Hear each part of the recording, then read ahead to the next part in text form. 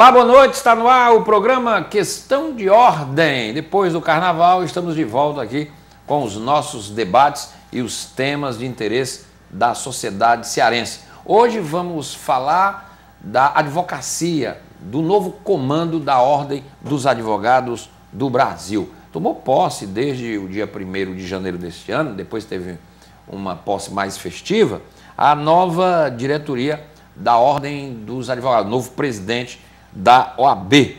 O, mandato é de três anos, o próximo triênio, e a meta do novo comando da secção da OAB Ceará é exatamente aproximar ainda mais a OAB de causas sociais, além de potencializar as ações em prol da categoria, evidentemente, dos advogados.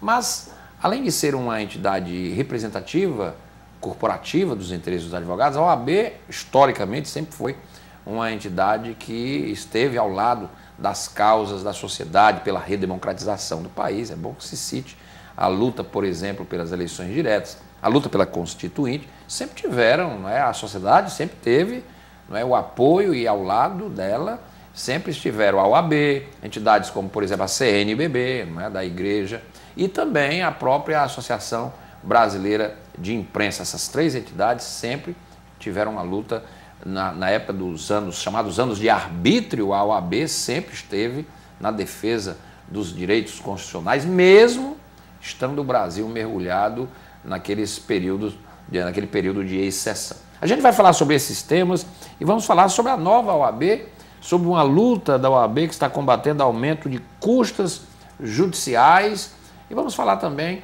de outros temas importantes que dizem respeito à advocacia aqui no Ceará e como de resto em todo o país. Eu estou recebendo aqui o novo presidente da Ordem dos Advogados do Brasil, secção do Ceará, doutor Marcelo Mota. Ele está aqui comigo, é meu convidado no programa. Ele é advogado, formado, evidentemente, quase 20 anos de atuação. Já foi integrante da Comissão de Acesso à Justiça, foi conselheiro seccional e membro de diversas comissões temáticas da OAB Ceará. E nos últimos anos, o doutor Marcelo exerceu na gestão do presidente Valdetário Monteiro o cargo de tesoureiro da Ordem dos Advogados do Brasil. Ele foi eleito para presidente da OAB Ceará para os próximos três anos com quase 46% dos votos. Uma eleição que sempre é muito disputada, muito acirrada, muitos candidatos. E o doutor Marcelo teve quase metade dos votos não é, que foram computados naquela nesta eleição. É com o presidente do OAB, o Questão de Ordem, a partir de agora está no ar o programa. Você pode participar interagindo com a gente pelos nossos, pelas nossas redes sociais, nosso, nossa página no Facebook. Você pode usar o nosso endereço eletrônico e através desses meios você pode interagir com a nossa produção, comentar o programa, você pode fazer críticas, apresentar sugestões e sugerir temas para futuros programas aqui na TV Assembleia. Doutor Marcelo Mota, muito obrigado por ter vindo. Boa noite. Boa noite, é um Tudo prazer bem? enorme aqui estar na TV Assembleia, num programa tão prestigiado que é o Questão de Ordem, fazendo esse trabalho também muito importante de levar informação ao povo do estado do Ceará, informação essa que é muito valiosa para o nosso dia a dia. Obrigado pelas palavras gentis. Doutor Marcelo, o senhor formou-se com 21 anos, quer dizer, eh, o direito está na veia, né? É de família? Com certeza. Eu nunca tive dúvida da profissão que eu iria abraçar. Sou advogado por vocação, advogado porque realmente amo a minha profissão. Infelizmente, não tive pai, nem mãe, avós, tios na minha área do direito. Realmente tive que desbravar esse caminho e depois agora realmente da nossa presença na área jurídica, diversos primos, enfim, familiares agora também são advogados. Mas repito, Faço isso, Renato, por muito amor, por paixão e, acima de tudo, vocação. Que legal. O, o, o doutor Marcelo, o senhor foi eleito presidente da OAB. A, a, a OAB, eu, eu, fiz aqui esse prelúdio na, na, na, abertura do programa, falando da importância. Não? É? A OAB está presente na vida nacional de há muito, não é? Com a democratização, é verdade, a, a vigilância da OAB se dá em outras frentes, mas sempre uma vigilância cidadã e democrática, garantindo aí o amplo Estado democrático do direito. Mas a OAB é sempre uma entidade muito importante. As eleições da OAB, inclusive, são acirradas, chegam a ser bastante movimentadas, às vezes é, até exageradas, como em alguns pleitos, uma disputa que parecia mesmo uma disputa para prefeito de Fortaleza. Mas o que é mais importante é que a sociedade fica atenta. E o senhor ganhou uma eleição com, parece, quatro, quatro concorrentes, não é? Cinco. Cinco concorrentes. O senhor teve quase 46% dos votos, isso não é pouca coisa. Para o senhor, o que, é, o que é ser o presidente da UAB? Primeiro, Renato, é, eu gostaria de agradecer a confiança da advocacia do Estado do Ceará, que reconheceu, primeiro, um trabalho que fazíamos quando fomos conselheiro. Na gestão passada, eu tive o privilégio de compor a diretoria na qualidade de tesoureiro e fizemos um projeto a advocacia, apresentamos nessa grande festa democrática que é a eleição da UAB. Repito, uma eleição que é acirrada, uma eleição que teve agora cinco chapas concorrendo.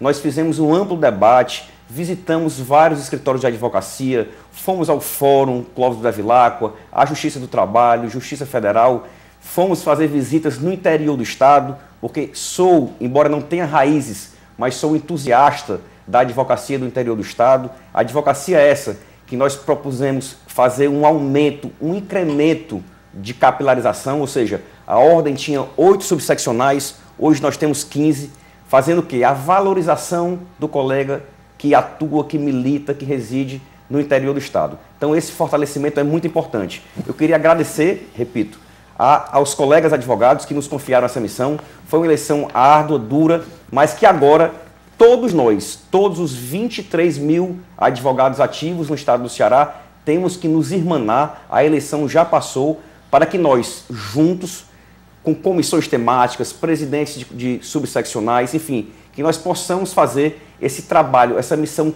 tão importante de fazer valer o que a OAB se propõe. Fortalecer estruturalmente a ordem, fazer com que o conhecimento venha ao advogado. A nossa Escola Superior de Advocacia tem uma missão ainda muito mais importante. Agora, Renato, a partir de março desse ano, já no próximo mês, entrará em vigor um novo Código de Processo Civil. Código de Processo Civil esse que traz inúmeras conquistas, fruto também de muito trabalho da advocacia. Nós teremos aí agora prazos contados em dias úteis. Nós teremos, você advogado e advogada, terá direito a férias do dia 20 de dezembro ao dia 20 de janeiro. Nós teremos o que é sagrado para o advogado, que é a questão dos honorários sucumbenciais.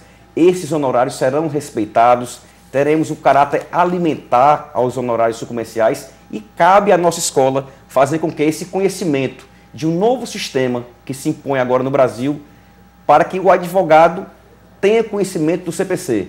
É uma realidade importante. Nós fizemos ano passado uma distribuição gratuita de 30 mil exemplares do novo CPC, percorremos todo o Estado, atualizando o advogado para que essa nova realidade venha a ser abraçada com muito mais eficiência. Porque nós acreditamos que o advogado capacitado, ele exerce a profissão com muito mais coragem, altivez e, acima de tudo, segurança. Doutor Marcelo, o senhor disse aí algo que me deixou curioso. O, o, os advogados não tinham direito a férias. E esse período não é o período do recesso da justiça? Não eram também as férias dos advogados? Por incrível que pareça, todo trabalhador, seja ele qual for, tem sim um período de descanso. Claro. Nós, advogados, sempre ficamos escravizados, porque o escritório tem que estar aberto, porque alguns prazos correm mesmo no recesso forense. Nós tínhamos, antes da emenda 45, dois recessos na Justiça Estadual, em, nos meses de janeiro e julho, depois passamos a ter o recesso do dia 20 de dezembro a 6 de janeiro. Ou seja, embora com um recesso propriamente dito, o advogado tinha que manter o seu escritório aberto porque alguns prazos corriam. Então, realmente é uma medida que vem a, a, de encontro aos interesses da advocacia e, por que não dizer, da cidadania. E agora parou isso? Agora, realmente, nós teremos esse direito de gozar 30 dias de férias e voltarmos aí, começarmos o ano com toda a energia. Ah. Porque, repito, nós temos uma profissão ela é desafiadora demais. Ela exige muito do nosso é, dia a dia. Desgastante. Desgastante. É verdade. Aliás, a, a, profissão do advogado é uma coisa interessante porque, por exemplo, uma causa é quase um casamento né, do advogado com o seu cliente, né? principalmente no Brasil, onde as causas demandam muito tempo. Né? É, o advogado, Renato, ele vive muito da sua credibilidade, da sua competência e, acima de tudo, da ética.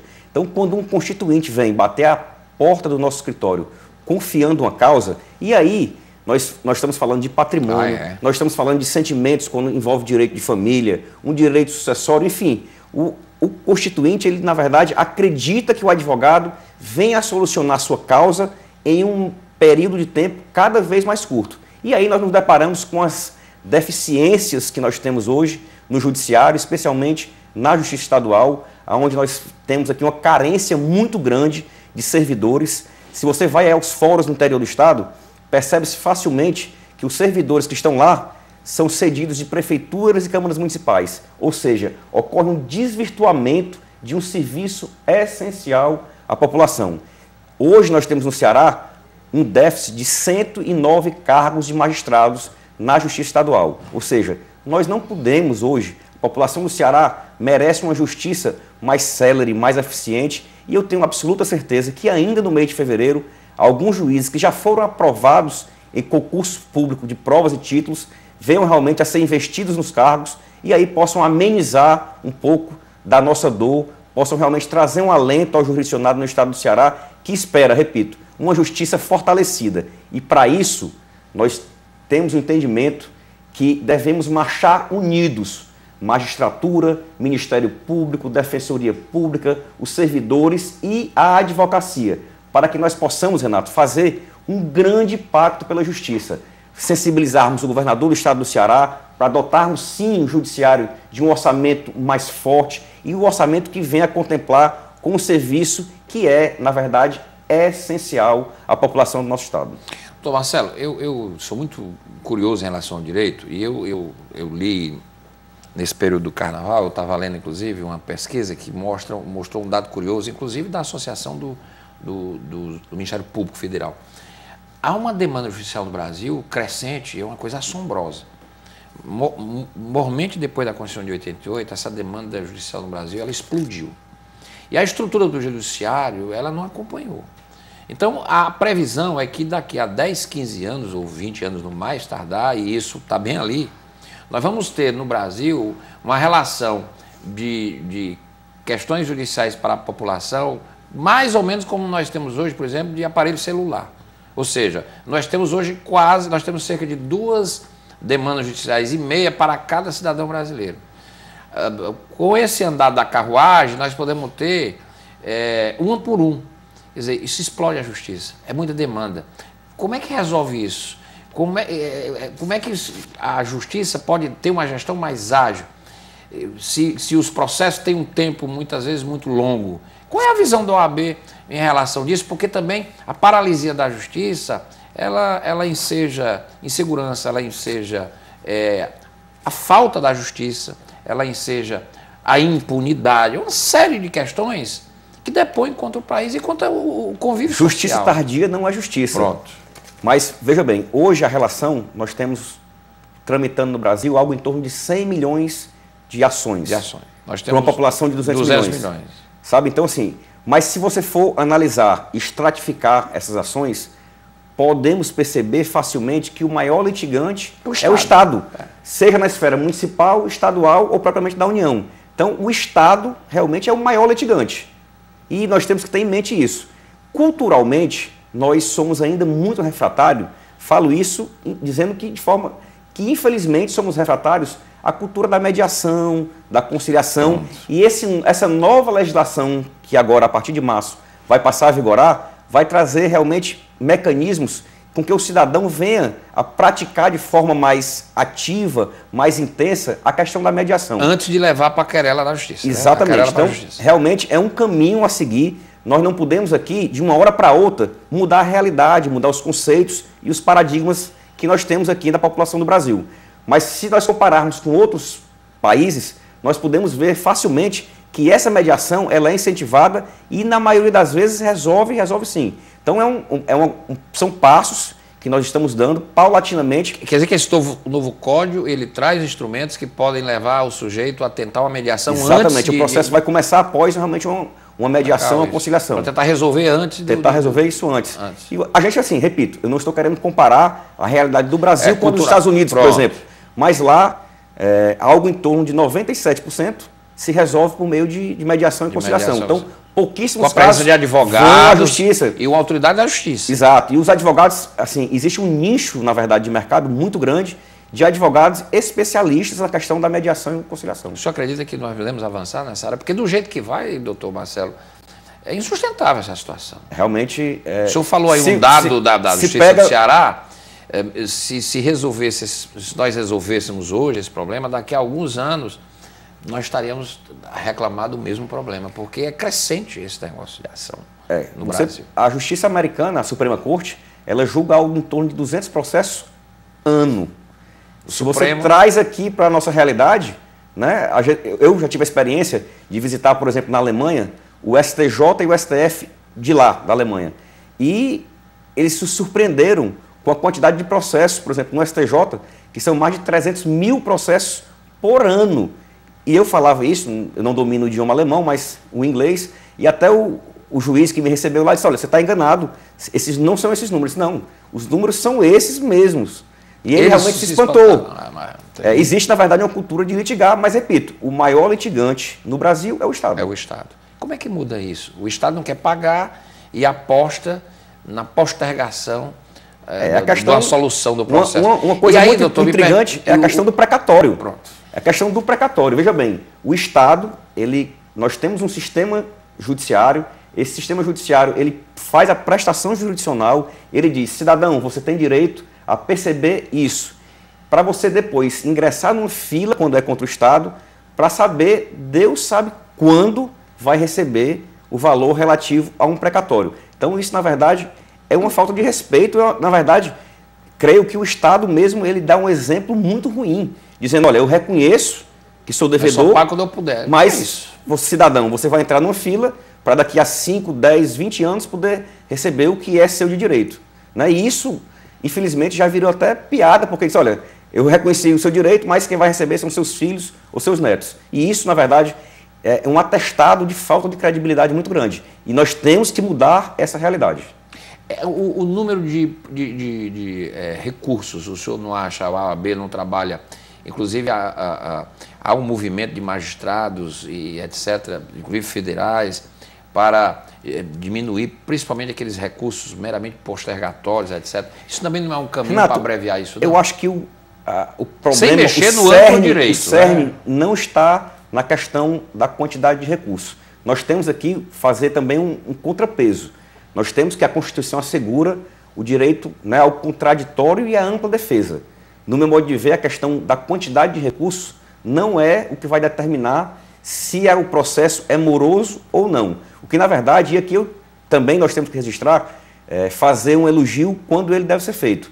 O Tribunal de Justiça no Estado do Ceará, que é composto por 43 desembargadores, em alguns gabinetes de desembargadores não existe nenhum processo concluso, ou seja, os processos que estão entrando imediatamente estão sendo apreciados, julgados, e nós temos que louvar essa atitude, tá? É muito importante que se Isso diga. É uma boa produtividade. Mas por quê? Porque o tribunal, ele aparelha o gabinete de desembargadores com assessores, assessores competentes. É porque existe pessoal, toda uma estrutura Porque não é só física. uma pessoa sozinha que não dá para dar Lógico, lógico, mas aí nós queremos o quê? Fazer com que o Tribunal de Justiça do Ceará, que hoje realmente demonstra uma eficiência muito grande em seus julgamentos, que essa eficiência, essa estrutura também seja emprestada para os juízes de primeiro grau. Porque são os juízes de primeiro grau que estão ali no fronte com a população, com o jurisdicionado, e que eu imagine, uma pessoa que mora em Crateús, em Mombaça, no, num município distante, ele está ali realmente precisando de um juiz. E nós sabemos que, infelizmente, a realidade do Ceará tem juiz respondendo, respondendo por oito comarcas. Nós não é, podemos isso é humanamente isso. impossível. E isso, na verdade, vai impactar onde? Vai impactar realmente na prestação jurisdicional, vai impactar na produtividade do magistrado, que ele realmente não vai poder exercer a sua profissão com, com a dignidade, com a maestria que poderia exercer. Muito bem. Doutor Marcelo, é, o senhor falou aí na questão dos precatórios, né, que os estados, o, o Estado não paga. Quando eu digo os estados, não é o Estado, o ente municipal, o ente estadual e o ente federal, todos têm o mesmo comportamento, é impressionante. Né? Quer dizer, são, é, é, uma fila municipal, uma fila estadual uma fila, uma fila federal. E, e essa questão dos precatórios me remete aqui a um problema que está acontecendo hoje no Brasil, Há uma quebradeira generalizada de muitos estados por conta da crise e alguns estados estão querendo lançar mão dos recursos depositados na justiça, não é? Quer dizer, é um dinheiro que está depositado em juízo por conta de ações que estão a tramitar e que os estados estão querendo uma parte deste dinheiro, 40%, 30%, há um limite disso. O Supremo Tribunal Federal, inclusive, vai se pronunciar a respeito futuramente quando voltar agora após o recesso, porque já há demandas judiciais para dar um. um, um, um chega para lá nessa história, porque a, a, rigor, a rigor, o Estado ele está dizendo o seguinte: não, eu quero isso aqui, mas quando a, a demanda vier, eu reponho. Mas quem garante isto? O que, é que o senhor acha? Bem, isso é um motivo que nós temos que olhar e com um olhar realmente de lupa. Porque entenda, o que na verdade é um movimento de alguns estados da federação aqui no Brasil, o que é que se propõe? A realmente o dinheiro que está depositado, que é particular, não é público. Não é público. Esse então. dinheiro, ele, para que ele possa ser utilizado no custeio do Estado. Então, veja bem, sobre a alegativa de que, quando o processo finalizar, quando as partes estiverem na mão com o alvará de levantamento das quantias, o Estado tem a obrigação de repor. Mas aí que está. Quem garante que daqui a alguns anos o Estado possa realmente, no tempo e modo devidos, fazer essa, esse pagamento essa reposição. Então, nós, inclusive, estivemos conversando com alguns advogados dentro da ordem, das comissões temáticas da OAB. É um assunto muito sério, muito grave, porque nós entendemos o quê? Que, só repetindo, não é um dinheiro público, é um dinheiro que, por exemplo, duas pessoas estão litigando, há um depósito judicial, há uma penhora online, enfim, com dinheiro resguardado para aquele determinado processo e que o Estado poderia realmente se utilizar disso para, no momento posterior, quando fosse expedido o alvará, utilizar. Então é, um, é uma coisa muito importante para que nós devemos estar muito atentos a isso. Porque o que pode acontecer é futuramente o indivíduo está com a autorização para receber o dinheiro e vai ter que entrar na justiça para fazer o Estado pagar o que está devendo a ele. O Estado hoje diz que paga quando for solicitado, mas lá na frente, quando chegar a fatura, e conhecendo um pouco como funciona o Brasil, eh, a gente vai, vai ver que alguns já não, eu, eu, eu, eu não tenho como pagar. E aí, como é. Imagine, Renato, eh, o jurisdicionado que litiga aí por 5, 10, 15, 20 anos e que no momento em que realmente ele vem a satisfazer o seu direito, ter ali o resultado, fruto realmente de uma ação muito longa, o advogado que trabalhou, que se dedicou horas, dias, meses, anos em um processo, na hora de receber os seus honorários, e o cidadão, na hora de receber o seu valor, não poder ter. Ter que realmente acionar um Estado, entrar com um segundo processo. Então, isso aí realmente é uma coisa muito delicada e que a população deve estar atenta e a OAB também está. A OAB está atenta a isso. Isso com é certeza. importante. Bom, e esse debate vai chegar ao Supremo agora. Com então, certeza. Então, logo o Supremo Tribunal volte a funcionar após o recesso. Passou o carnaval, agora uh, o Brasil vai começar. O ano judiciário já começou. É, o ano começou. Bom, doutor Marcelo, e o que, o que tem a ver a OAB com esse aumento de custos judiciais? A OAB está lançando uma campanha não é, combatendo o aumento de custas judiciais. É uma lei que aumenta o valor dessas custas. O que é isso, doutor? Bem, nós tivemos aqui em junho do ano passado uma lei aprovada nessa casa, na Assembleia Legislativa, majorando de forma exorbitante, desproporcional, as custas judiciais aqui no estado do Ceará referente à justiça estadual. Nós sabemos, aqui é um ponto comum, um ponto pacífico, que nós tínhamos umas custas aqui até o ano de 2015 que realmente estavam bem abaixo Defasado. da realidade praticada por outros tribunais. Para se ter uma ideia, as custas máximas de um processo iam até R$ 1.235. Para se interpor um recurso de apelação, R$ 32,00, um agravo de instrumentos, R$ 57,00 estávamos Essa realmente custa é, é, é, paga pelo advogado ou pelo, pelo pela, cliente, parte, pela parte pela parte para poder dar seguimento ao processo. Me, só me, me deu uma luz. Esse dinheiro de custas é, também paga o advogado o honorário no final da Não, da isso não tem nada, tem isso nada a ver com o é, honorário. É, destinado exclusivamente para o processo, para custear o, o processo. processo. Isso vai para o Estado, certo. de uma forma geral, de uma forma lato senso. O que, que aconteceu? Essa lei foi aprovada majorando de forma desproporcional. Os valores, assim, um processo, para você ter uma ideia, Renato, entre você ingressar com a petição inicial, fazer um recurso de agravo de instrumento, apelar e levantar os valores por meio de um alvará, ele pode chegar a uma cifra de 259 mil reais. Aí é então, proibitivo, né? Para uma grande parte da população. Nós temos algo sagrado na Constituição Federal, que é o acesso à justiça. Então, disso a OAB não abre mão. Eu queria louvar também uma atitude. Nós fizemos aqui algumas reuniões com a presidente do Tribunal de Justiça, a desembargadora Iracema do Vale, juntamente com o Procurador-Geral de Justiça, Plácido Rios, a Defensora-Geral Mariana Lobo, tratando o quê? Fazendo uma mediação, ou seja, fazendo com que nós nos reuníssemos e debatêssemos o teor dessa lei, porque hoje, como está vigorando essa lei, nós não podemos ficar. Ela está vedando o acesso. O estado do Ceará é um estado que tem um PIB muito pequeno, as empresas realmente aqui são de pequeno e médio porte e as custas da forma que estão hoje está tendo um verdadeiro clamor do jurisdicionado e do advogado. As partes realmente que poderiam ingressar com recursos não estão, petições iniciais, ou seja, novas ações, não estão surgindo porque as partes não têm como pagar essas custas exorbitantes. O juiz pode conceder, quando for solicitado, a gratuidade de justiça, mas em vários momentos não concede. Então isso fica, está realmente causando um clamor. Nós fizemos algumas reuniões, recebemos agora, na quinta-feira passada, na OAB, numa sessão extraordinária destinada justamente para discutirmos a lei que majorou as custas judiciais do Estado do Ceará. Dois desembargadores estiveram lá, desembargador Carlos Alberto Mendes Forte e o desembargador Paulo Ayrton Albuquerque Filho, justamente apresentando uma proposta do Tribunal de Justiça para alterar a lei, diminuindo o valor das custas. Mas nós entendemos, e o Conselho foi unânime nisso, nós entendemos que ainda essa proposta realmente ela estava muito elevada. É só um paliativo. Era ainda estava muito elevada. Essa lei, a Lei 15.834, foi aprovada aqui em 2015, mas é uma mensagem originária do Poder Judiciário. Do Poder Judiciário. Então, o que a OAB está tentando com esta mediação é fazer com que o Tribunal de Justiça ele se conscientize e envie uma proposta corrigindo essa distorção. Exato. Isso ainda não está acordado. Ainda nós, tá... estamos, nós estamos em tratativas com o tribunal, mas isso nós caminhamos. Eu fui pessoalmente ao Conselho Federal da OAB, porque o Conselho aqui estadual no Ceará, no dia 14 de janeiro e agora também na semana passada, ratificou o entendimento que nós devemos ingressar com uma ADI, ou seja, uma ação direta de inconstitucionalidade no Supremo Tribunal Federal. Isso quem tem competência é o próprio Conselho Federal da OAB.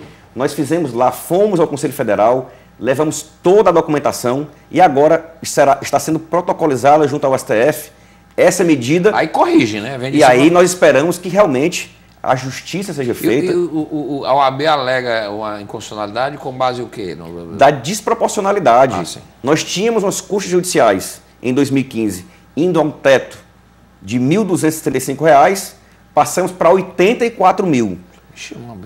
Aí, aí fere aquela prerrogativa constitucional do direito à justiça. Nós tínhamos um, um agravo de instrumento que custava 57 reais, foi até 1% do valor da causa. Nós tínhamos uma apelação que custava 32 reais, e passou a, a ser 4% do valor de uma causa. Imagine que é, uma causa de 100 mil reais, tá?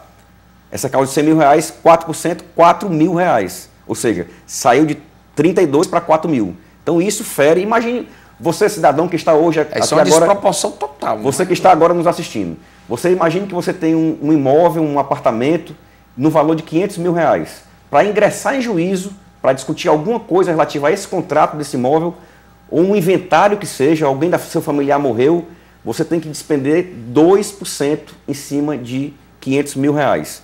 Se alguma coisa realmente for alguma medida desnecessária, que tiver que recorrer, mais 1%, por meio de um agravo de instrumento. Para fazer um recurso de apelação, mais 4%. Então, assim, realmente, nós, cearenses, não podemos pagar essas custas judiciais né, que o tribunal por meio aqui de uma mensagem aprovada pela Assembleia, hoje passa a vigorar. Fica, fica acima até de qualquer índice de correção de inflação, de qualquer índice oficial que seja utilizado. Quer dizer, é desproporcional, realmente. Desproporcional, exorbitante. É. É. E nós aqui, realmente, nesse papel que a OAB deve desempenhar, repito, em prol da sociedade, em prol da advocacia, com responsabilidade, com zelo, transparência, mas, acima de tudo, com altivez e coragem, nós vamos sim questionar essa lei sem prejuízo de também avançarmos nas tratativas com o tribunal de modo a sensibilizá-los e dizer, olha, realmente, da maneira que está, não pode ficar.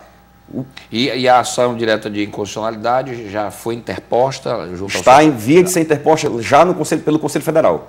Então, logo o Supremo é, volta. O, Conselho, o, o, Supremo já realmente já iniciou é. os trabalhos Isso. e essa ação vai ser protocolizada amanhã, inclusive.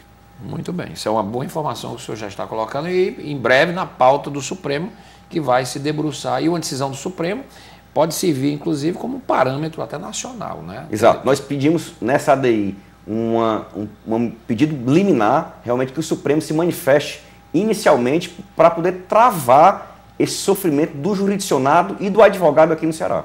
Até que se julgue o mérito, Exatamente. Um, um juiz, um ministro do Supremo pode dar uma liminar protegendo esse direito até que o Porque plenário está, se pronuncie. Está impactando no acesso à justiça. Que coisa.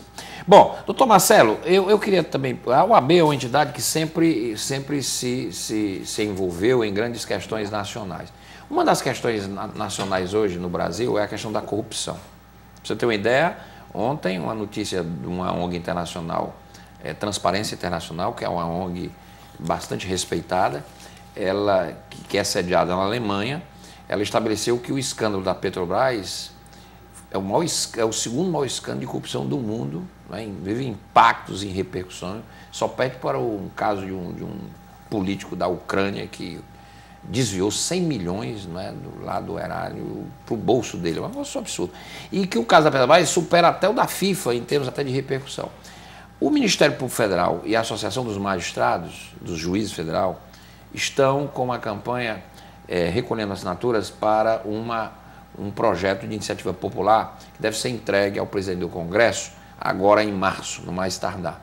Essa, esse projeto, me disse aqui o doutor Alessandro Salles, que é um dos coordenadores desse movimento aqui no Ceará, ele pretende, ele pretende estabelecer uma nova, uma nova legislação para o combate à corrupção, em cima de alguns preceitos que estão sendo pedidos até pelos juízes, com base, inclusive, em muitos, muita, na realidade atual, inclusive até da Lava Jato, alguns problemas que a Lava Jato sente por falta de uma legislação mais eficiente, aumentar inclusive as punições, é, inclusive de penas contra os corruptos, né, para, para que a sociedade brasileira tenha um enfrentamento com mais força em relação a isso. E, inclusive, não sei se a OAB já está engajada, mas eles iam, inclusive, pedir o apoio da Ordem dos Advogados do Brasil, secção do, do federal, né, a OAB federal.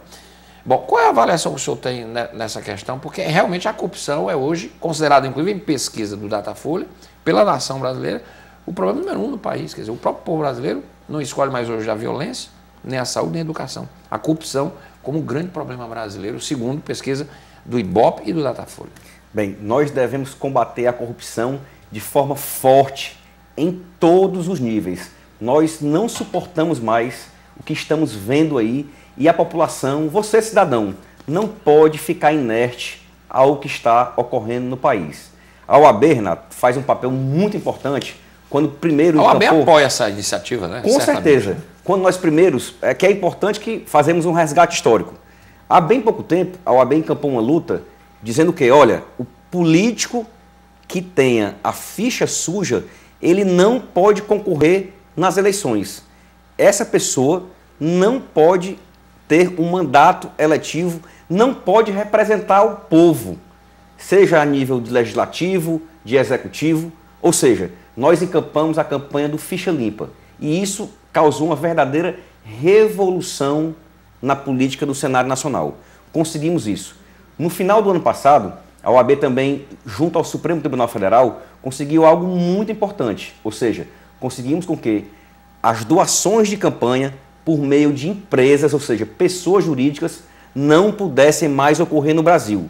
Nós somos aonde? No cerne, na raiz do problema. Ou seja, muitas empresas, e aqui eu falo porque está estampado em noticiários, por exemplo, empreiteiras apoiavam candidatos a prefeitos, governadores, enfim, para poder o quê? Depois se beneficiar. E aí a Lava Jato está aí. Apoiava inclusive não só um, né? Os Vários, principais. Né? Os principais.